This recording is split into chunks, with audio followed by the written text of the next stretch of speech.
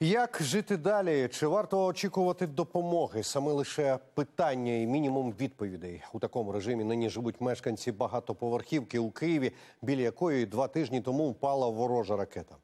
Півсотні постраждалих, двоє загиблих. Мої колеги вже робили кілька матеріалів про те, що мешканці будинку залишилися фактично сам на сам зі своєю бідою.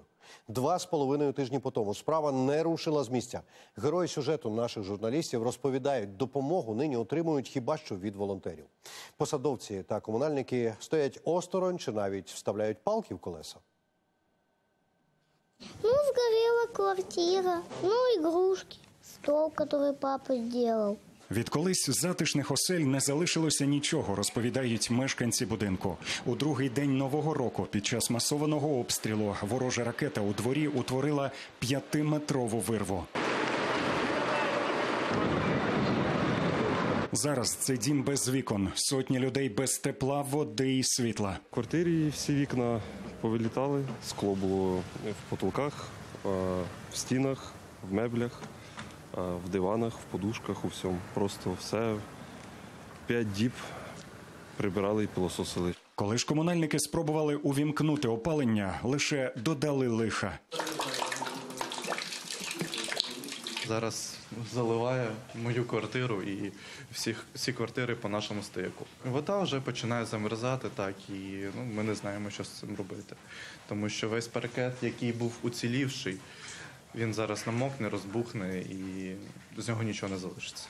Вони не перевірили стан батареї на восьмому поверсі, там, де була пожежа. Немає куска труби, з якої текло, текла вся вода. Повилітали дубові двері в коридор, в спальню, знов в спальню. Вікна та двері у квартирі Ксенія встановила власним коштом, витратила 50 тисяч гривень. Каже, писала заяву до київської мерії, просила про допомогу, але відповіді досі нема. Грошову підтримку натомість отримала від міжнародного благодійного фонду. Сьогодні я отримала гроші від норвезької допомоги Скільки? 10 800. Вибухова хвиля винесла вікна навіть у місцевій школі. Вона за пів кілометра звідси. Зараз тут діє гуманітарний штаб. Мешканців будинку зігрівають і годують працівники районної соцслужби. От мені дуже допомагають дівчата. Приходжу сюди грітись, пити, їсти. Квартира Вікторії, яка жила в ній разом із двома доньками, вигоріла вщент. Квартира вся чорна, нічого нема. Нічого, всі комнати згоріли, дві комнати, кухня, ялинка, яку вони наїжджали перед Новим роком. Все, фотографії, документи. В адміністрації Солом'янського району запропонували жінці кімнату в гуртожитку. Вікторія говорить, жити там важко. В кімнаті, щоб сім'ї жили з нами. Я розумію просто, що нам потрібна хоч одна кімнатна, якась такі окрема квартира. Зараз родина Вікторії живе у родичів. Дім в іншому районі Києва. Доньок щодня доводиться здалеку возити до школи. Діти кажуть, у нас немає нічого, тому хоча б друзів нам залиш нам друзів. Жінка сподівається бодай на якусь компенсацію на відновлення житла. Втім, уже збагнула. Це справа не одного дня і навіть не тижня. Треба відновити спочатку документи. Це буде ж дуже довго, тому що пішли в БТІ, сказали там через місяць підійдіть. На кухні в мене вилетіло вікно зовсім. Воно в нас забите зараз плівкою і ДСП. Е, ДСП нам дали волонтери.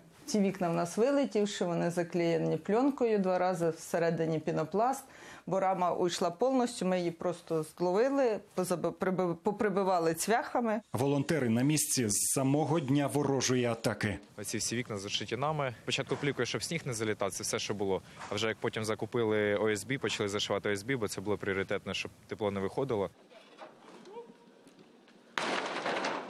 Це третій під'їзд, він найпошкодженіший. Туди ми не пускаємо волонтерів ще й досі. Рятувальники вони зрізали ці балкони, бо нависаючі плити це дуже небезпечно. Натомість інспектори районної комісії з оцінки пошкоджень поки що навіть не обходили квартири, нарікають мешканці. Чіткого алгоритму розв'язання нагальних проблем люди не мають.